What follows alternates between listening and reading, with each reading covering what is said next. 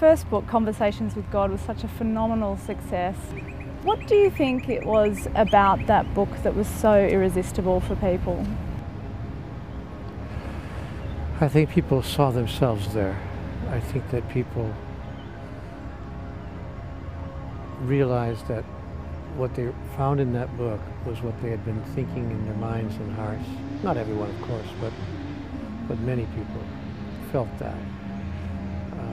And others felt that they had found an explanation of God and a description of God that they could agree with, and maybe for the first time in their lives.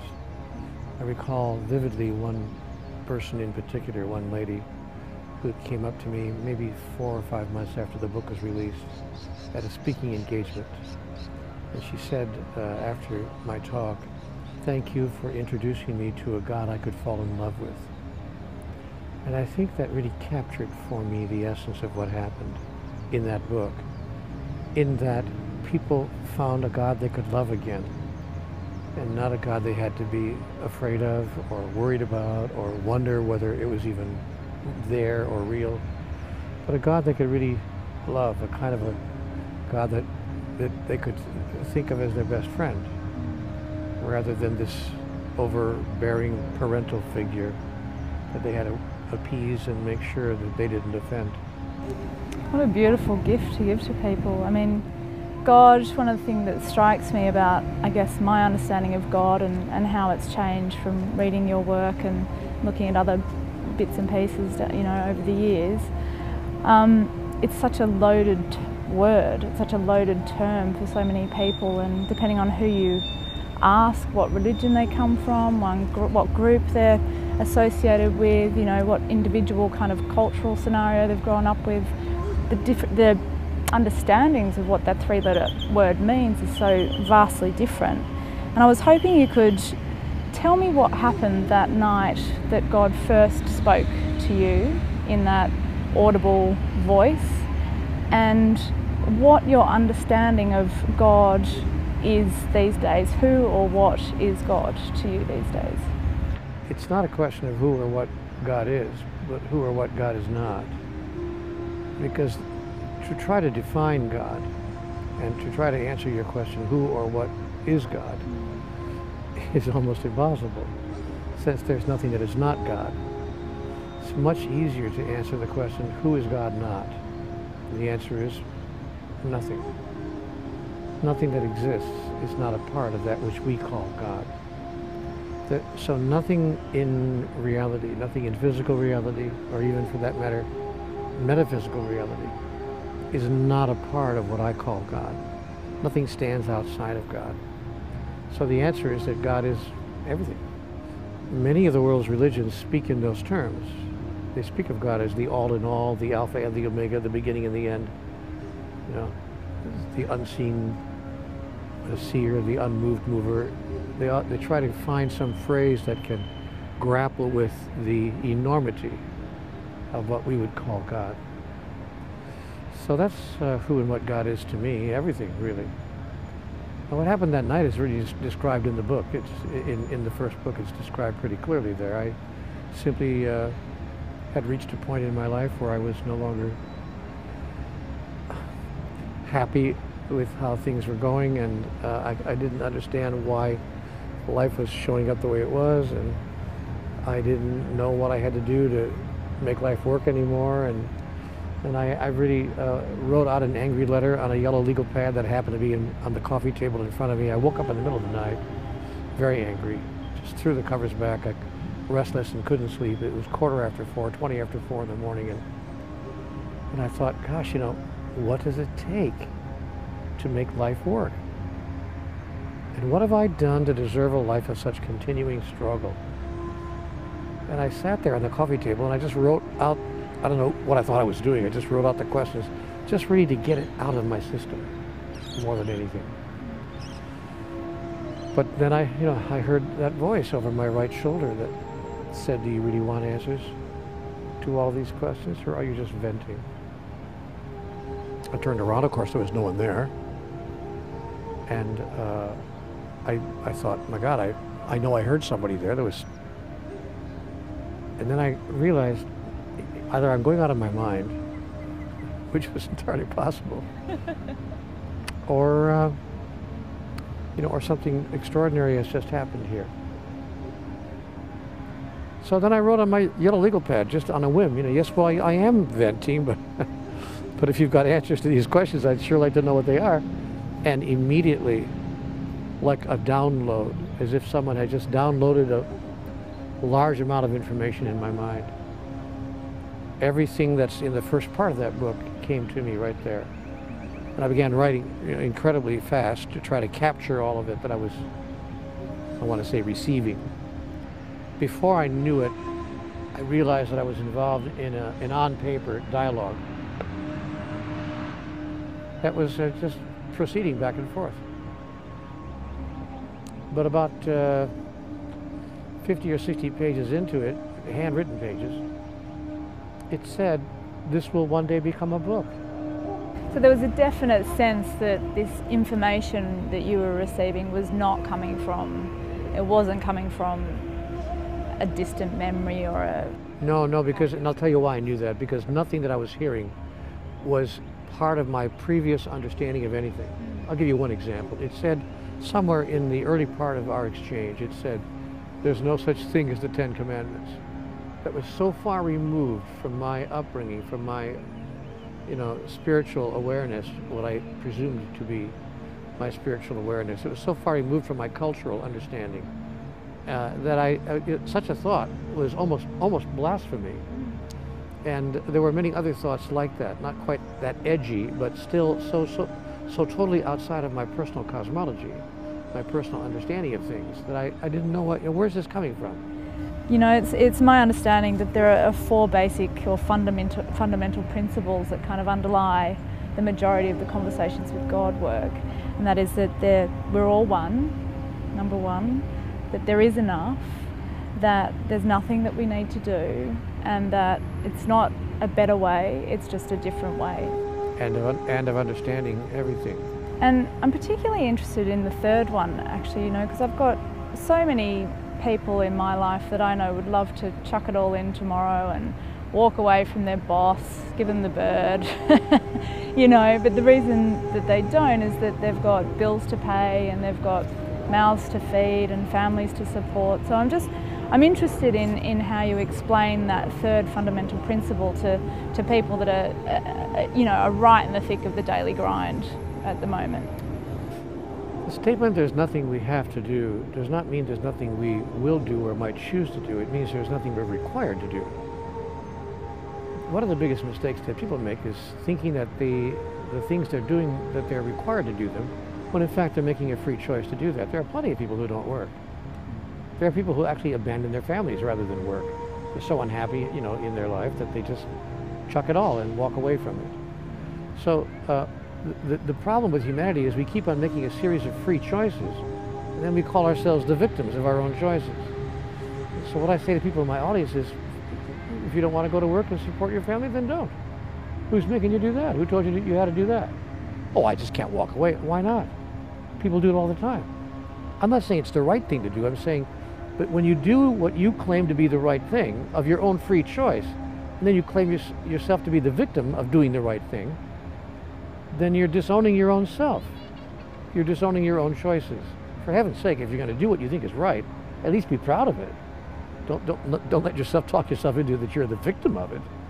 What does that say about you if you're the victim of it? What does that say about you?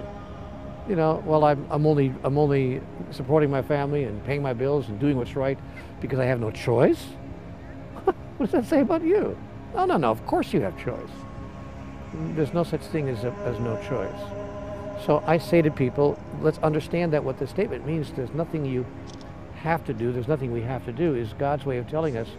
It's another. It's, a, it's another way of saying you have free choice always about everything. But for goodness sake, stop making free choices and calling yourself the victim of them. Wake up. Notice what's happening. Every act is an act of self-definition. Everything we do defines who we are. But we shouldn't, you know, do all these wonderful things that define who we are and then fail to lay claim to them, reject them, call them not our own. So, you know, that's, that's what's meant by there's nothing you have to do. There is nothing you have to do. It's about making free choice wisely and then owning it and taking responsibility for it and being the creator. Even if you make free choice unwisely. I mean, I've, I've made some unwise. own it. of, of course, exactly. yeah. I've made some unwise free choices, and at least stand up for it and say, okay, I made a mistake there. I won't do that again. But it, don't make yourself the victim. There's not. Conversations with God says there are no victims and there are no villains. There are only people who think they are. There's this, the seven key questions that you ask people to consider and consider it from a place that's really, you know, the deeper part of their soul where they're, they're, they're accessing something that's about a better world, a better, a better vision for society. The first one made such like crystal clear, incredible, logical and intuitive sense to me when I read it. Like, how can seven, almost seven billion people on the face of this planet all want exactly the same thing to feel love, to be happy, to be secure, to be, you know, live in harmony? To have opportunity, to, to, to, have, uh, to have a fair chance, a fair shot, to, to feel equal in, in, the, uh, in the business of life itself. And not be able to achieve it. Yeah, to feel safe and secure. Not only is it interesting to consider it in the, in the context of contemporary times, how can 7 billion people all be after the same thing and be unable to get it? But think of it this way, we've been trying to do this now for several thousand years. Not, not several thousand months, but several thousand years. Now you would think that if a group of people who call themselves an evolving species, if not to say already highly evolved, were all after the same goal for thousands and thousands of years, we'd finally be able to get there.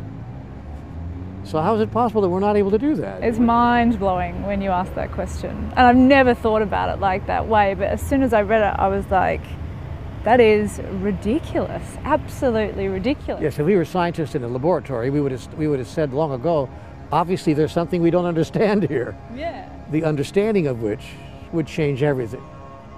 I'd like to see the Pope stand up at St. Peter's Basilica in Rome and just say from his balcony, with all due respect to the Pope, because he's a wonderful man, but why not ask the world's people, how is it possible for all of us to say we want the same thing and be unable to get it? What do you think the answer is?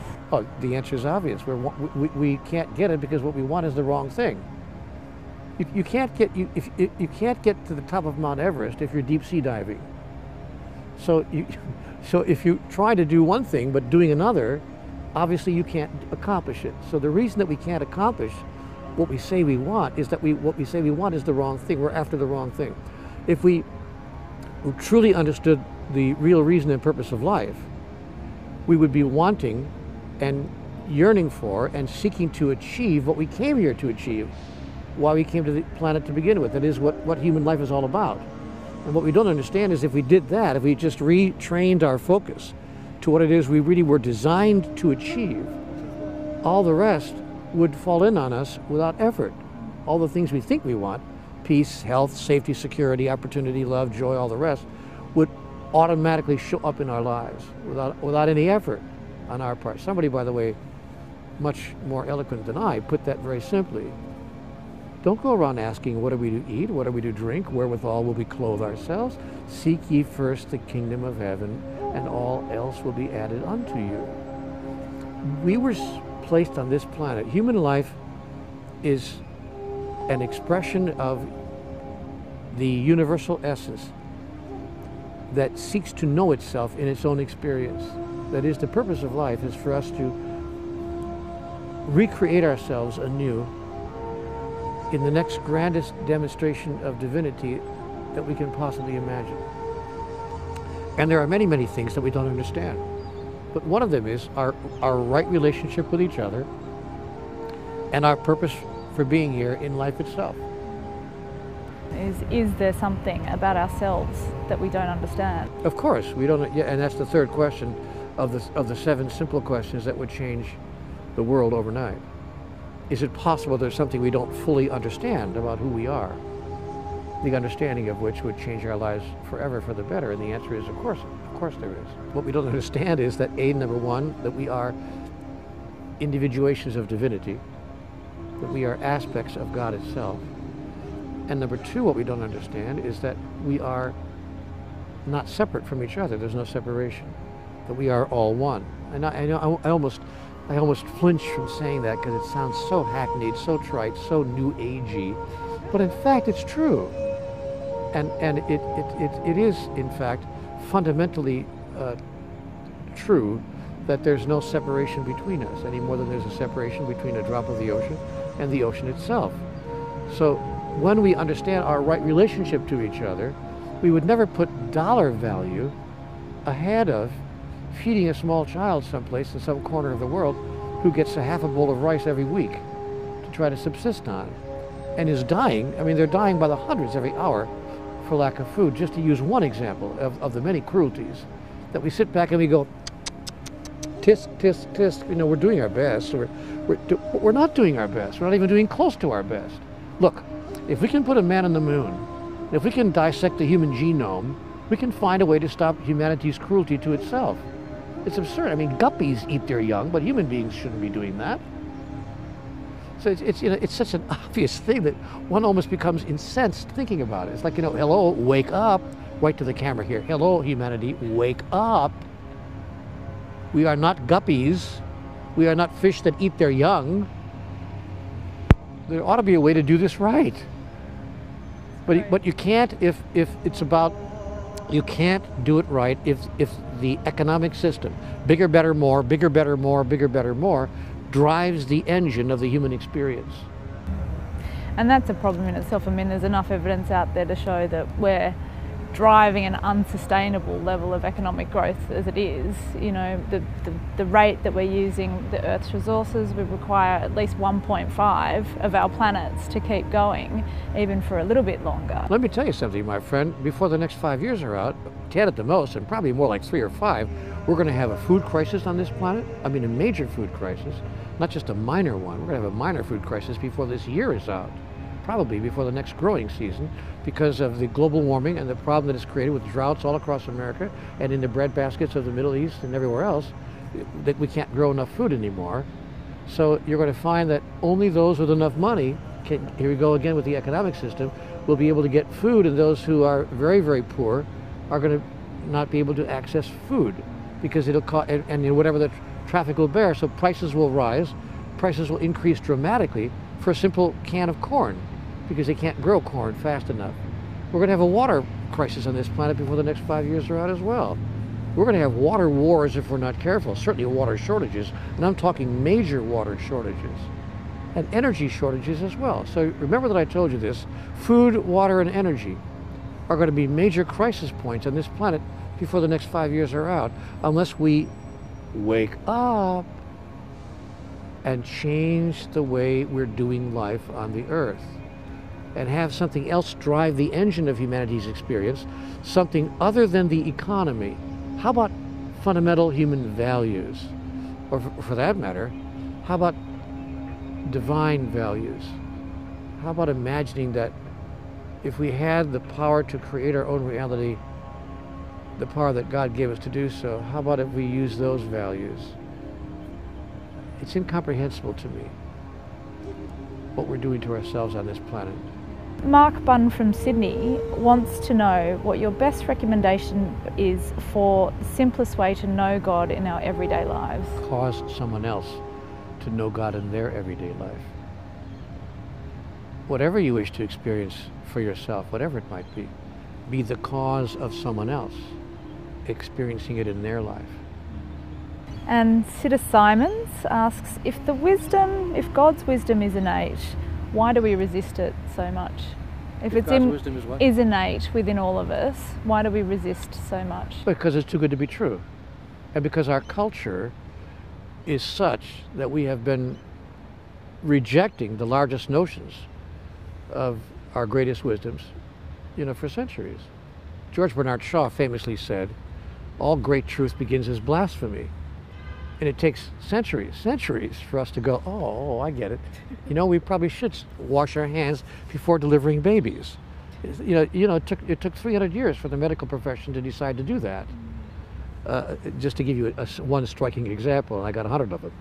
But so we, we tend to put more value and more faith in the uh, understandings and uh, awarenesses of our forefathers, of our ancestors, than we do in the callings of our own heart and our own soul. So, uh, because we think, well, they, they must know, you know, they must know, and they don't know. And the result is that the sins of the father are visited upon the sons, even unto the seventh generation. We keep on repeating the same mistakes over and over again, expecting to get a different result. That's the classic definition of insanity. But the reason that we don't give in to, surrender to our own inner wisdom, the wisdom of God that resides in all of us, is it's almost too good to be true. It, it's almost too simple, almost too easy. It, it, we, we, can't, we can't imagine life could really be that way. But if we ever began to live our daily life from moment to moment, moving inside the wisdom of our soul, I've just finished a book, which will be out in a few months, called The Only Thing That Matters. And The Only Thing That Matters argues for the combining of the mind and the soul in the consideration of our daily choices and decisions. See, the mind holds nothing but experience, which it imagines to be knowledge, knowledge, but experience is not knowledge. It's simply experience. And your experience can be warped by all manner of things. Knowledge, true knowledge, is held in the soul. Eternal wisdom is held in the soul. So our job as human beings is to find a way to marry the mind's experience with the soul's knowledge and to come to a place in, in, in between. When a person does that, they're, they're said to have been centered. You're really centered in that place between the mind and the soul. All great uh, mystics have found that place. They don't, they don't just reject the mind altogether because the mind's experience is valuable. If I didn't know about the mind's experience, I would, I would touch a hot pan on the stove and burn myself or, or put my hand in the socket and get a shock or walk off the edge of a cliff. So my experience, my mind is, is, is a good friend. I'm not saying we should reject our mind, but all the true mystics and masters have found a way to marry the mind of the soul rather than to live exclusively in the mind to the exclusion of the soul. If I would, if I had one piece of advice for human beings, it would be connect with your soul. Find a way to connect with your soul every day. Not once a week when you go to church or synagogue or temple, but if you even do that, but every single day. How do you recommend people connect? Well, there's a thousand ways to do that. Meditation, guided imagery, visualization, ecstatic dance, whirling dervishes do it all the time. You know, reading good poetry, praying, you know, there's a thousand ways. But it starts with willingness. You must be willing. You must say, okay, God, or life, or whatever word you want to use that's comfortable to you. I'm here and I'm willing, I'm willing to be quiet for a moment each day with my soul. And if you do that often enough and regularly enough, ultimately you'll discover an opening, something happens. And it's not just a flash, but it, it, it occurs on a regular basis. Mystics know how to do that, and, and, and all the great masters have done that. So Katrina Kavanagh from Wollongong, she asks, in your book you refer to a point that we are never meant to die. Can you tell us more about that? You're never meant to die. We were never meant to die. The, the, the life form that we call human being was designed to live forever.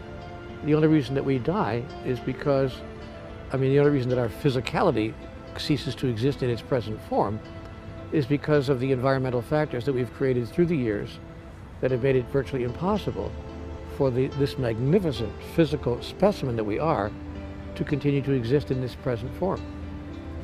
And the, the ways we've done that are multitudinous. Too, too many ways for us to describe. the environment, the air we breathe, the food we eat, you know, what we think we need to do to, to stay alive. Uh, we imagine we have to, you know, well, it's, it's, it's the things we imagine we have to do to survive are really what cause us to not survive like, you know, chowing down on a piece of steak three times a day.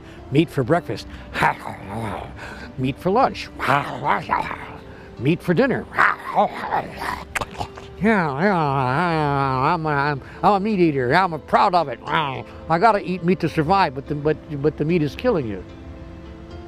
Oh, I see. So what I have to do to survive, what I've taught myself I have to do to survive, is actually killing me. Okay, well, so be it. That's the way it goes, because I'm not giving up my meat or my cigarettes or my stuff, you know, and I'm not going to get, you know, so what? What are we doing? and that's only one one hundredth of the things, you know, got three hours, I'll explain the rest. Vanessa Dixon from Sydney asks, what kinds of conversations are you having with God these days? The latest conversation with God that I've had involves, as I mentioned, the only thing that matters. And what God said to me was, Neale, you got to help people understand what's really, really important. Interestingly enough, most people already know. When you tell people this, whether they're agnostics or atheists or whatever, it doesn't matter, men, women, even children, they look at you and they start nodding their head, yeah, I know that, I know that. Yeah, yeah, I know that too. I, yeah, I know, I really know what's really important. Then why don't you live that way? Good question. Mm. See, because this is what I thought was important before my own memory of what is really important was open to me. I thought life was about get the guy, get the girl, get the car, get the job, get the house, get the promotion, get the office in the corner, get the kids, get the grandkids, get the sickness, get the gray hair, and get the hell out. You know, that's that's life. It's just you know, that's how it works. And then I realized that none of that mattered. None of that. That doesn't mean I, I won't do any of that. I may still have children and get a good job and all that, but not because that's what matters, but because that's simply the way that I express what matters. The only thing that really matters is who you imagine yourself to be and how you choose to place that into the world of your experience. If you imagine yourself to be an aspect of divinity, what does that look like to you? And, and how do you choose to place that in your life? Through your work, through your creativity, through the fact that you do in fact get up every day and pay the bills and take care of your family? Is that part of an aspect of divinity? Or do you want to just walk away from it all? You know, how, how do you do that? The concept of manifestation, I've talked to a number of people about that.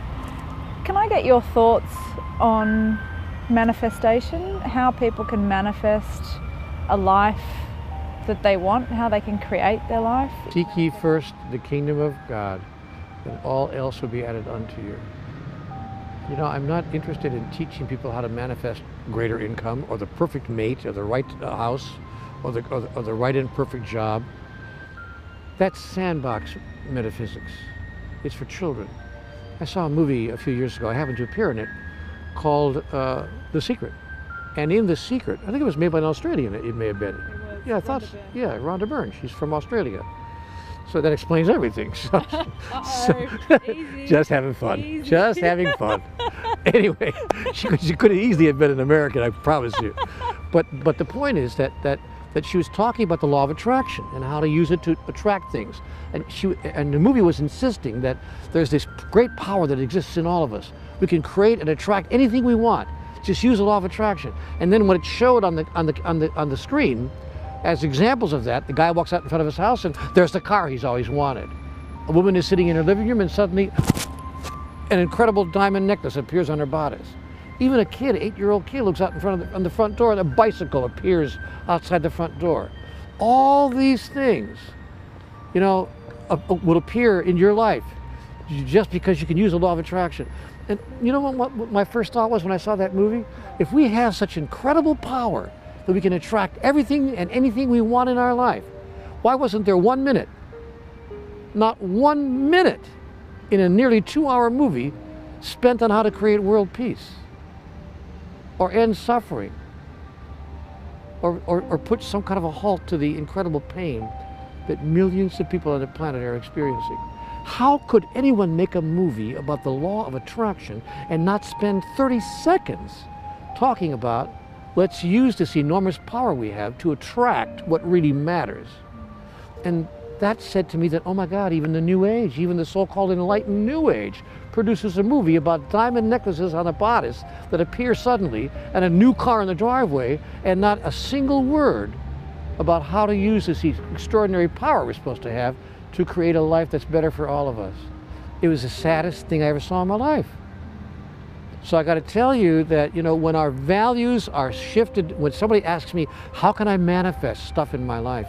I say to, to them, what do you want to manifest? A better you, more compassion, greater understanding, deeper wisdom, more love, or the perfect mate, or the, the better job. No, no, no. Seek ye first the kingdom of God, and all these things will be added unto you when I shifted, and, by the way, this is not the pot calling the kettle black. I did this. I made these same mistakes. I made these same choices. I even did my affirmations, just seven times 70, you know, and I, all the ways that you can manifest your own reality. I did it for, for, for many years, 20, 30, 40 years, until finally God said, Neale, Neale, first of all, it's not about you. Your life isn't about you. It's about everyone else whose life you touch and the way you touch them. That's number one. Number two, even if you had all those things, do you think that's what's going to make you happy? You want to know how many people have the perfect car, the perfect mate, the perfect job, and they're sad as hell? Hello, wake up. Hello, earth to Neale, earth to Neale. And I finally got it. That if I spent my life sharing the wisdom, the understanding, the clarity, and the love of God with as many people as I could reach, I would no longer have to search for the perfect mate, the perfect job, the perfect income, the perfect anything. It would all just crash in on me, and guess what? Hello? you know, I mean, but even if it didn't, even if it didn't, it, it wouldn't matter. You, you don't find very many unhappy people who are spending their lives sharing compassion, patience, understanding, wisdom, and love with all those whose lives they touch. They're not worried about when their next hair appointment is, or what model and make the car in the driveway is, or how much their money they're making every every. Do you think the Dalai Lama cares about that? Do you think that Thich Nhat Hanh is worried about it? I, I don't think so. Friends, folks, humans everywhere, you got to hear me, man. We got to shift our values shift our understanding, change our raison d'etre, our reason for being. It has nothing to do with any of this, I promise you. Thank you. Thank you so much.